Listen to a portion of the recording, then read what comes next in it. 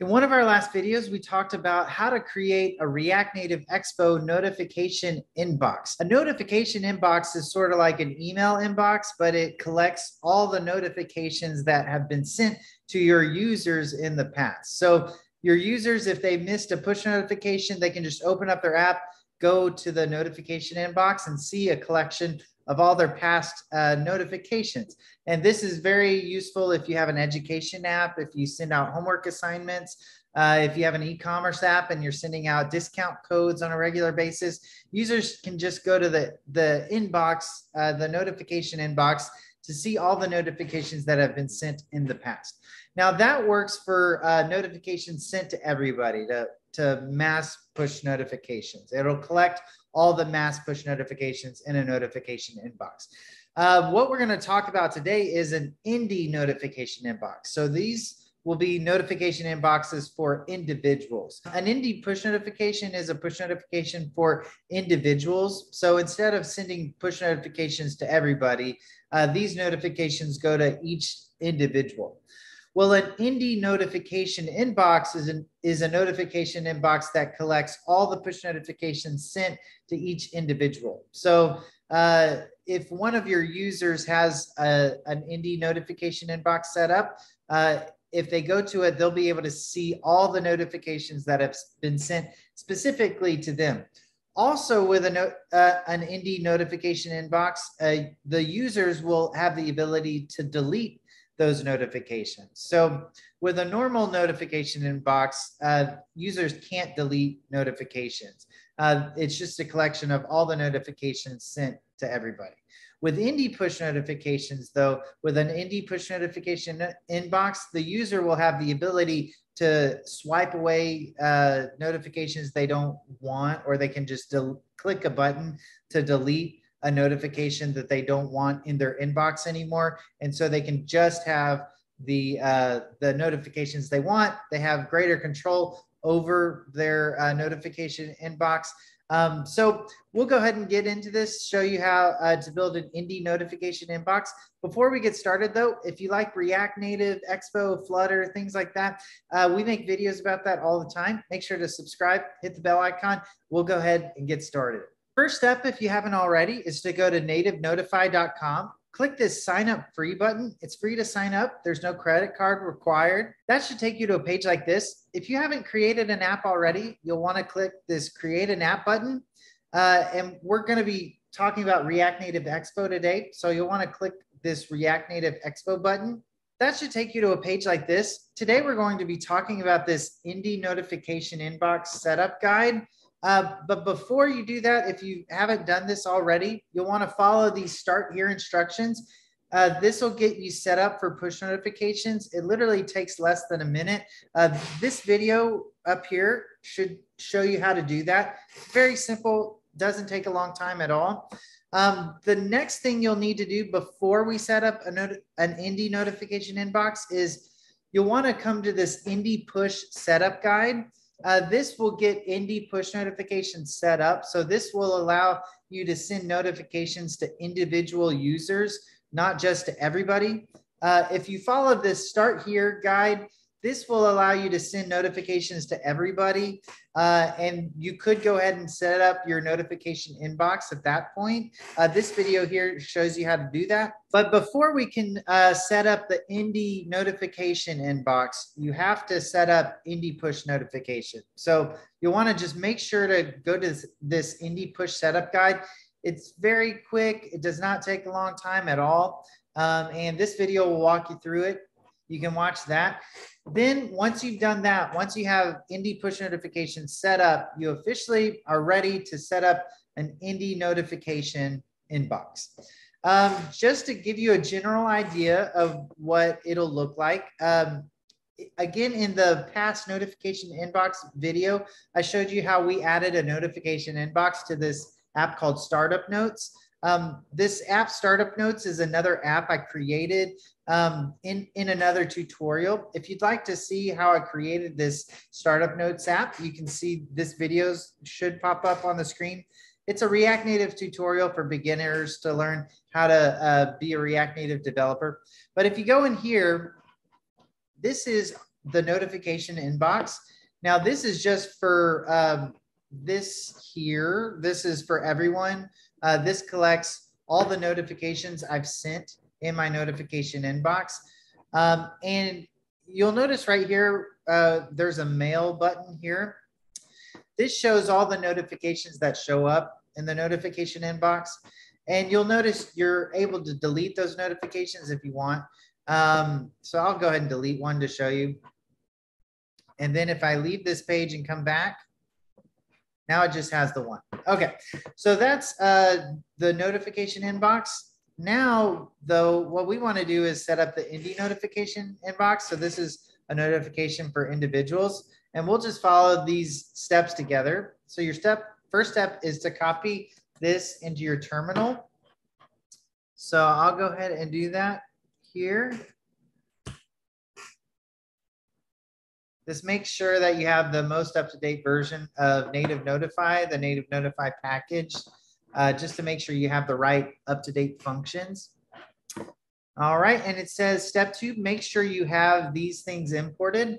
Uh, I already have React, use state, use effect imported. I do not have these uh, Indie notification inbox functions imported yet. So I'm going to come up here. Um, I already have get notification inbox imported, um, which uh, that's what you're seeing on the screen. But this is these are the functions for the indie notification inbox. All right, and then it says make sure you're using a hook function in uh, as your indie notification inbox uh, function. Um, mine just says notification inbox. It can be called whatever you want, but um, I'm already using a hook function. If you're not sure what a hook function is, uh, I made a video about it. You can watch that video right here. You can also click this link right here and it explains what a hook function is. Super simple, not complicated. Uh, your next step is you'll want to make sure you have a place to house your data. Uh, once you trigger the uh, get Indie notification inbox function, it's going to return an array full of objects. Um, and so you'll want to make sure you have somewhere to house that state. Um, you can call this whatever you want, but uh, I just have it set as data. And uh, I put that right up there.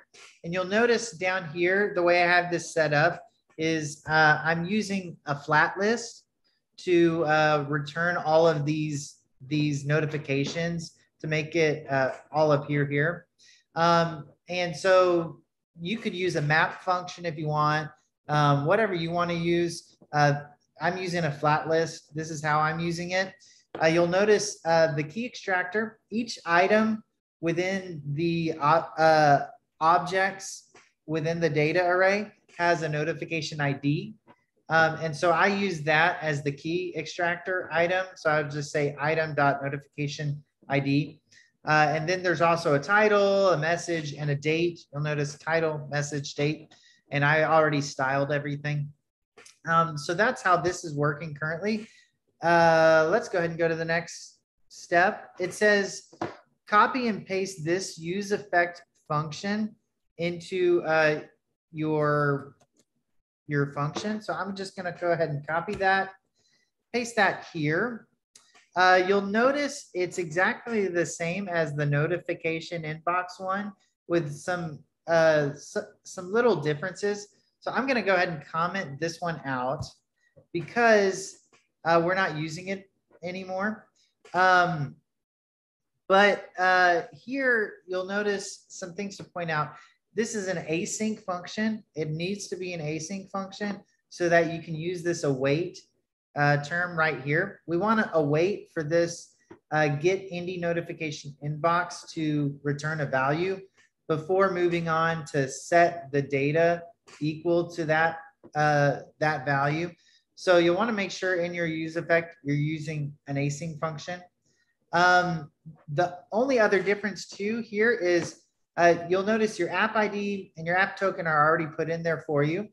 But right here is where you would need to put your indie push sub ID.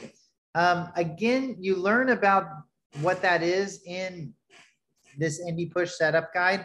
Uh, basically, all it is is it's whatever unique ID you register with us um, you need to use that same exact ID for the Indie uh, notification inbox. So just a super brief overview of, of Indie push notifications. The way it works is you register a unique ID with us, and then you use that unique ID from then on uh, in your post requests um, to send notifications to that individual. So usually what an indie sub ID is, is it's like the user ID that you have on your end for uh, your users. Your users might have a number, whatever you use on your end for a user ID um, can be used as the indie push notification ID that you can then use from then on to send indie push notifications. Well, that's what you use here. Um, you would put here uh, your indie push sub ID as a user string. Um, I in uh, a uh, another video, I went ahead and registered some users. One of the users I registered was called user uh, two. So that's the one I'll use here. And you'll notice here, it has that mass push notification that was sent out, the another test one but it also has an indie push notification that I've sent to it. I believe I have something called user one. Let's see if, okay, yeah. So user one has uh, another notification that was sent to it. Let's see if user three has one. Okay, so user three just has two. I have five users that I've registered already. So, all right, so those are the different ones. I'll use uh, user one or maybe user two. Okay. I'll go with uh, user one just because there's three different ones here. So yeah, that's it for uh, getting Indie your Indie notification inbox uh, set up. Um, for you, again, on your end, uh, you'll probably, once your user logs in, something like that, you'll probably in your global state save the user ID that you use as the note the uh, push notification sub ID. Um, so you could just, however you um, save their user ID, you could just you could do that dynamically here. Like uh, the way I do it, I use something called app state that I made up. So uh, I might would do something like this where it says user ID equals app state. Um, and so dynamically to do this, um, I would do something like this. Just do it like that. Um, and that would put in the user ID for me. Um, so however you do it, you can just go ahead and import your user ID, put it right there, and then it'll work. But I'm just manually putting it in for this video. All right, so that gets the uh, notifications showing up. Now, what if you want to give the user the ability to delete their uh, notifications in their notification inbox? Well, you have the ability to do that with uh, this function here called delete Indie notification inbox. So again, if you go back to your code, you'll just want to make sure you imported this delete Indie notification inbox. Um, and then it says this is the function that you use to delete a notification. So you can just copy this, come over here. Uh, you can put it anywhere. I'm just going to put it under this use effect. Um, basically, the way it works is you want to trigger this handle delete notifications. Uh, and the, the parameter you pass in needs to be uh, the notification ID. So let me just show you something. So you'll notice when you uh, first trigger this get Indie notification ID, you'll notice each of the objects, these here in, in the terminal, these are the objects that uh, show up in the notification array. Each one of these objects has a notification ID. So that's what you need to pass in as a parameter whenever you're triggering this handle delete notification. Um, so I've already created a, a button that I'm going to uncomment out to show you what I mean. So uh, notice it says delete notification. So the user can delete a notification. uh, for this touchable opacity in my on press event, I uh, put in handle delete notification, that, which is the name of this up here, this function we just pasted in. And then for the, uh, the parameter, I say item dot notification ID, which should get the notification ID within the object that's being uh, returned in this flat list. So uh, we'll go ahead and just test it out. That's that's all you have to do. Uh, I'm going to go ahead and delete this. Okay, and you'll notice uh, it, this returned an empty array. That's because I forgot to uh, put the uh, Indie push notification ID back in this delete function as well. So you'll need to make sure in your delete indie notification inbox that you also put your indie push notification ID in there too, or it won't work properly. Um, so yeah, that's how this delete indie notification inbox works. You put the indie push ID here first, then this notification ID that you passed in goes there, then your app ID, then your app token. Um, and so let's go ahead and send ourselves a couple more push notifications. Uh, test, test. To show this working. Test. Okay. So let's leave and come back. So notice those were mass push notifications sent to everybody, um, but they still showed up in the notification inbox. Uh, and now, now that I put the correct user uh, Indie push notification ID here, it should work. So let's test it out. All right, there we go. And it, it deleted. Um, and just to show that this is working, um, so let me go ahead and comment out the delete button again. Um, and I will uh, uncomment out the notification inbox. So you'll notice, so the, the mass notification inbox still has all four messages in it. And that those four messages should be here. Yep. So they're all there. Um, but if I go back to the Indie notification inbox, the ones that I deleted they're they're gone. So even if they're in the mass notification inbox, they won't be in the indie notification inbox anymore uh, if they delete it.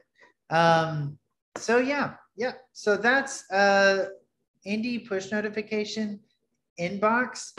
Uh, that's how that works. That's how you can create a notification inbox for your individual users and give them the ability to uh, delete the notifications as well. Thanks for watching this video. There is a transcript of this video in uh, the description below if you'd like to read the uh, an article I wrote on how to get this all set up uh, in text form. It's in the description below. If you like this video, make sure to subscribe, hit the bell icon, like the video. Uh, we come out with videos all the time. Thanks for watching this video and I'll see you next time.